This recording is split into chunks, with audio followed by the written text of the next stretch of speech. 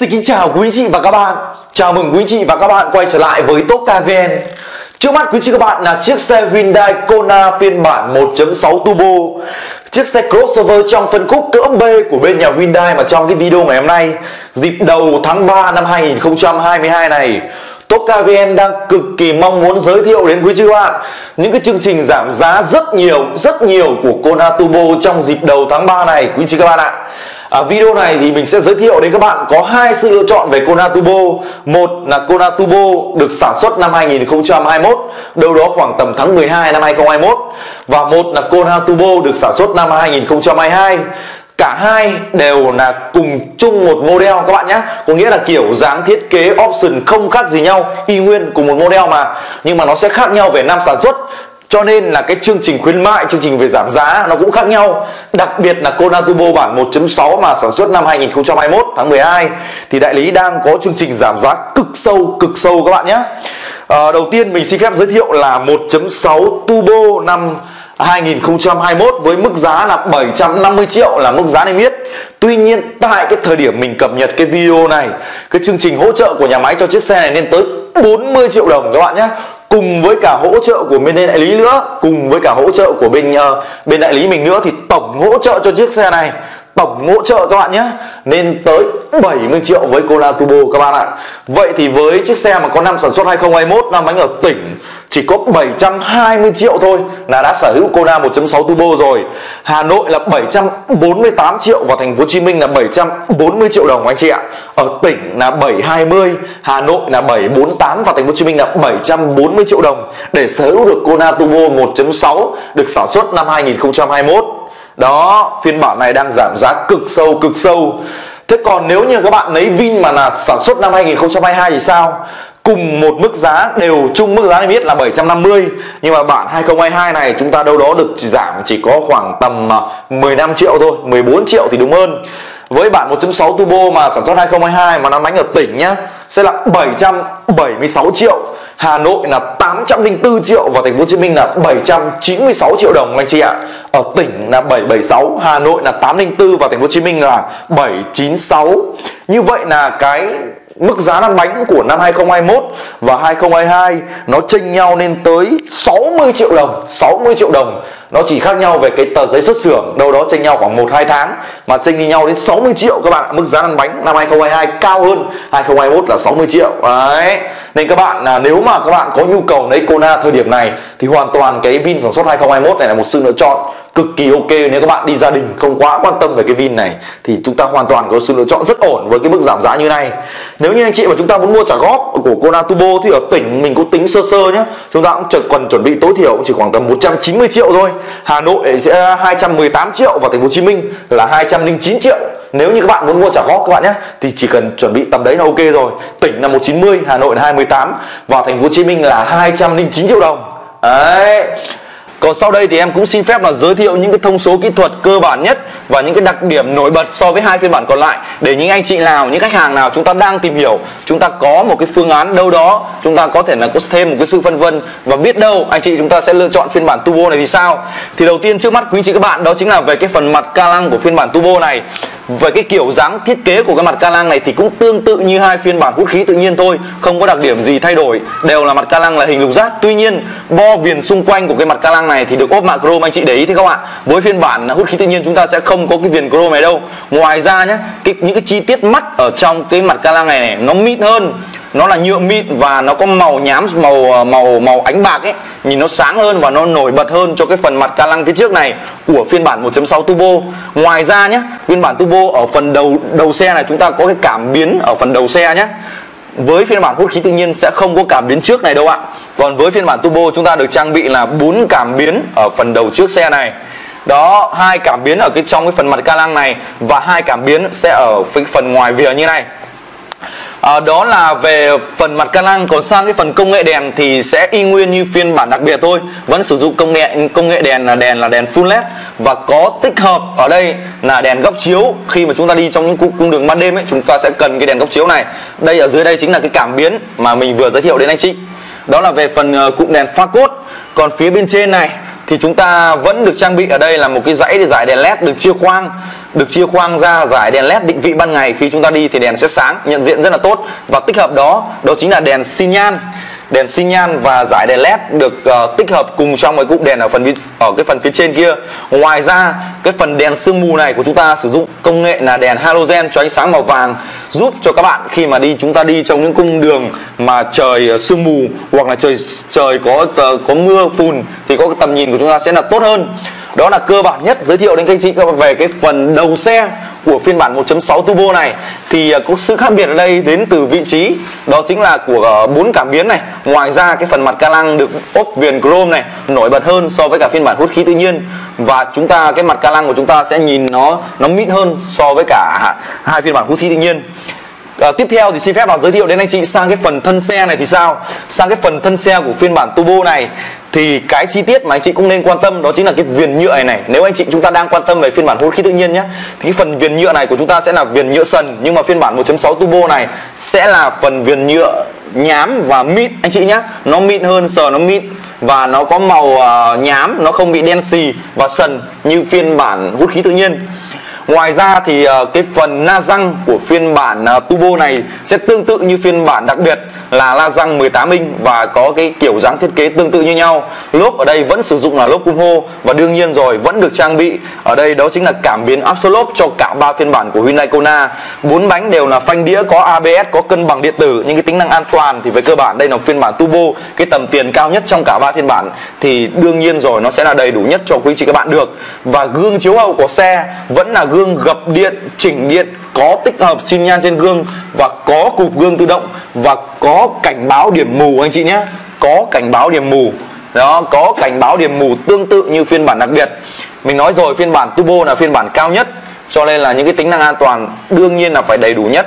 Ngoài ra phần tay nắm cửa của xe cũng được ốp mạ à, được à, sơn cùng màu với cả màu thân xe và có nút mở chìa khóa thông minh Smart Key trên cả cửa chính và cửa phụ. Có nghĩa là anh chị chỉ cần chúng ta đeo chìa khóa là hoàn toàn có thể mở được rồi. Ở bên dưới này có một cái chi tiết khác với so với cả hai phiên bản còn lại đó là một cái ốp mạ một một cái miếng ốp ở cái thanh sườn xe này nhìn nó nổi bật hơn và cái độ kiểu như chúng ta nhận thấy rằng nó có cái độ hoàn thiện chi tiết tốt hơn so với cả hai phiên bản à, hút khí tự nhiên sang cái khu vực đằng sau cái phần đuôi xe này của phiên bản 1.6 turbo. Thì cái đặc điểm chúng ta dễ nhận biết nhất đó chính là chữ 1.6T ở đây đó còn với hai phiên bản là 2.0 thì chúng ta sẽ sử dụng là 2.0 đó chữ Kona thì vẫn được giữ nguyên. Phần công nghệ đèn thì chúng ta vẫn được giữ nguyên như phiên bản đặc biệt thôi. À, cái cụm đèn đằng sau đều được bo viền từ cái phần sườn xe này đến cái phần ốp viền phía sau cái nắp mở cốp như này và cái phần đèn sau này, khi mà các bạn đi trong những cung đường trời ban đêm ấy, nhìn nó chia khoang này, các bạn nhìn này, cái kiểu thiết kế của Hyundai rất là hay chia khoang nhìn rất nổi bật. Logo trung tâm đương nhiên phải là Hyundai rồi. Và cái đặc điểm nữa khác biệt so với hai phiên bản còn lại là chúng ta có một cái viền chrome chạy ngang cái phần đuôi sau này. Nó sẽ tạo là cái sự nổi bật nó tạo được cái sự nổi bật với cái thanh chrome ngang như này, khác biệt so với cả hai phiên bản vũ khí tự nhiên, đây cũng là một điểm khác biệt. Ngoài ra thì đương nhiên vẫn được trang bị, đó chính là một cam lùi. Đó là những tính năng an toàn ở khu vực đằng sau xe này. Kết hợp với đó là bốn cảm biến lùi đằng sau nhé với Hyundai ờ, với Hyundai thì gần như là tất cả những cái dòng xe khi mà các bạn được trang bị ở khu vực đằng đuôi sau này sẽ là một cam lùi. Kết hợp với đó sẽ là bốn cảm biến lùi ở đằng sau này. Một cam lùi, bốn cảm biến lùi là những cái tính năng an toàn mà chúng ta được trang bị. À, tiếp theo thì với phiên bản 1.6 turbo này thì sao? Với dung tích tiêu hao nhiên liệu? Mình nghĩ là nhiều khách hàng chúng ta sẽ quan tâm. Với phiên bản ờ, uh, 1.6 turbo thì trong cung đường kết hợp của chúng ta sẽ là 6,93 lít.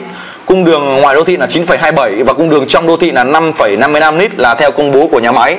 Thì mình nghĩ mức tiêu hao nhiên liệu như này là cũng tương đối là ổn. Với động cơ 1.6 nhá 1.6 turbo. Ở phần ờ, đuôi sau này chúng ta sẽ có một cái đèn phanh. Thì đương nhiên rồi cái này sẽ sáng lên khi mà anh chị chúng ta phanh mình uh, lưu ý một chút với cola nhé thì chúng ta sử dụng là động cơ bản 1.6 sẽ là động cơ 1.6 là đương nhiên rồi. Tuy nhiên phần hộp số của chúng ta cũng có sự khác biệt. Hộp số của phiên bản turbo là hộp số ni hợp kép 7 cấp chứ không phải là hộp số tự động 6 cấp như phiên bản ờ, hai phiên bản còn lại.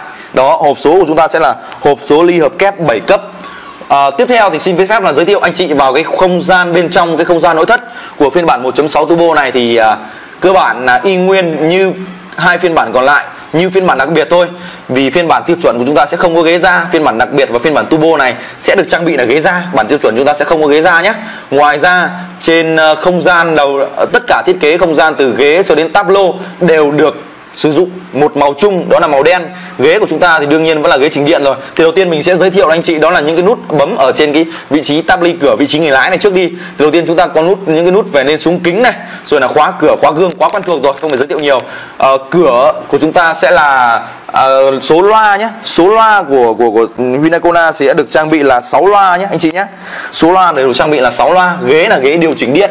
Ghế là ghế điều chỉnh điện đó cả phiên bản ờ, đặc biệt và phiên bản turbo này đều là ghế điều chỉnh điện hết. Nó không có đặc điểm gì khác nhau về cái phần ghế này. Ghế điều chỉnh điện 10 hướng. Uh, trên này là lớp uh, bọc da của cái ghế này của chúng ta. Uh, độ hoàn thiện chi tiết nhìn cũng rất là ổn. Đường khâu mũi chỉ rất là chi tiết và tỉ mỉ có lỗ thông khí trên cái phần ghế này của chúng ta. Ngoài ra tiếp theo thì xin phép là giới thiệu anh chị về cái uh, cái vô lăng đi cái vô lăng của xe vô lăng là vô lăng ba chấu bọc da nhé. Vô lăng ba chấu bọc da. Và trên vô lăng được tích hợp đầy đủ những cái nút bấm như là điều chuyển âm lượng, điều chuyển kênh, đàm thoại, rảnh tay. Số túi khí được trang bị là 6 túi khí có cruise control nhé. Các bạn nhìn chữ cruise control chưa ạ?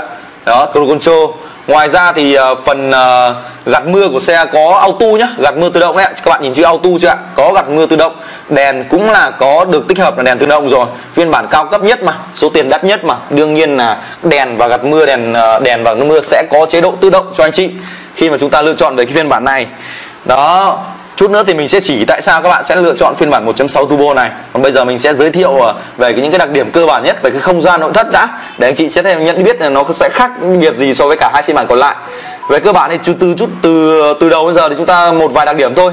Tiếp theo là sang cái ờ, phần màn hình giải trí của xe được tích hợp đầy đủ radio này, map này Kết nối bluetooth này, kết nối AUX này Kết nối AUX, kết nối bluetooth này. Ngoài ra thì hệ thống điều hòa của xe chúng ạ, chúng ta cũng sử dụng là điều hòa là điều hòa tự động nhé. Điều hòa là điều hòa tự động. Đó, điều hòa tự động và ở bên dưới này chúng ta sẽ các bạn này, các bạn để ý này. À, điều hòa của xe nhìn uh, những cái nút tinh chỉnh điều hòa này cái độ hoàn thiện chi tiết và nhìn cũng rất là dễ chúng ta rất là dễ nhìn nhận biết được đây là điều chỉnh hướng gió của điều hòa còn uh, phần bên dưới này chúng ta sẽ có một cái gì cổng AUX này cổng USB này và cổng sạc nhanh. Đây là, đây chính là cái cổng sạc nhanh nhé ngoài ra chúng ta có sạc không dây các bạn ạ. Khác biệt so với cái phiên bản đặc biệt là chúng ta có sạc không dây với phiên bản 1.6 turbo này nhé đó đây là chính là vị trí để của cái điện thoại đấy ạ. Đây này cái vị trí để của điện thoại của các bạn sẽ ờ, khi mà các bạn, điện thoại chúng ta có cái chức năng mà mà sạc không dây thì chúng ta chỉ cần để y những cái định vị này là sạc điện thoại của chúng ta đã được sạc rồi. Phiên bản đặc biệt và phiên bản tiêu chuẩn thì đương nhiên là không có rồi. Hộp số của xe sẽ là hộp số liên hợp kép 7 cấp, có đầy đủ tất cả những cái chế độ lái. Ngoài ra thì ờ, ở đây chúng ta có một cái phanh tay hơi đáng tiếc một chút là với phiên bản turbo bản cao cấp nhất lại không có phanh tay điện tử mà vẫn sử dụng tay, tay phanh tay cơ. Bệ tì tay thì đương nhiên rồi vẫn giữ nguyên như hai phiên bản còn lại đều ờ, được bọc ra cái phần bệ tì tay này. Cái này thì mình không muốn nhắc tới. Cái nhắc tới tiếp theo khác biệt tiếp theo đó chính là ở cái cửa sổ trời anh chị ạ. Với phiên bản uh, tiêu chuẩn và phiên bản uh, đặc biệt nhé chúng ta không có cửa sổ trời đâu. Nhưng phiên bản turbo này chúng ta sẽ có cửa sổ trời đó có cửa sổ trời cũng là một cái sự khác biệt rồi đúng không ạ? Cửa sổ trời này sạc không dây này cảm biến trước này rồi là cái gì nữa nhỉ? À, động cơ thì đương nhiên động cơ turbo rồi. Hộp số là hộp số đi học kép 7 cấp không phải là hộp số ờ, uh, 6 cấp như bình thường của hai phiên bản còn lại. Đó là những cái đặc điểm cơ bản mà khác nhau nhất mà mình nhận biết được từ thời điểm đầu video đến thời điểm này. Số túi khí thì à, giống nhau cả thôi. Cả ba phiên bản đều được trang bị là 6 túi khí. Số loa thì cũng đều được là 6 loa cả. Cái đấy thì mình không muốn nhắc tới. Còn những cái tính năng an toàn, ví dụ như là chống bó cứng phanh ABS này, cân bằng điện tử này, hỗ trợ ờ, phanh khẩn cấp này, phân bổ lực phanh điện tử này, hỗ trợ khởi ngang dốc, hỗ trợ xuống dốc, kiểm soát lực kéo, kiểm soát thân xe thì à, đều được tương tự như nhau nhé và cảnh báo điểm mù chúng ta sẽ có phiên bản turbo và phiên bản à, đặc biệt sẽ được trang bị đó đó là những cái đặc điểm mà mình muốn giới thiệu đến quý các bạn về phiên bản 1.6 turbo này.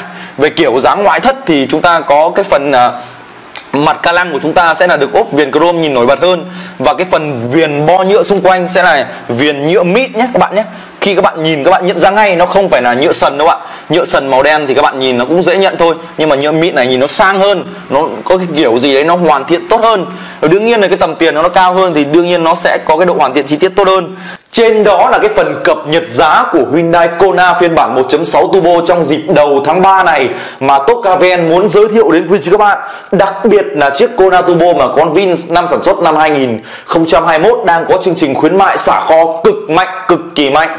Vậy thì nếu những anh chị nào khách hàng nào chúng ta quan tâm thì ngay bên dưới góc trái màn hình này có cái số hotline của bên đại lý của bên uh, Hyundai ở miền Bắc thì các bạn hãy gọi cho ở miền Bắc, ở miền Nam thì chúng ta hãy gọi ở miền Nam để có thể nhận báo giá cũng như là khuyến mại tốt tốt nhất tốt nhất về Konatubo này. Xin chào và hẹn gặp lại các bạn trong những video lần sau của Top VN. Xin chào.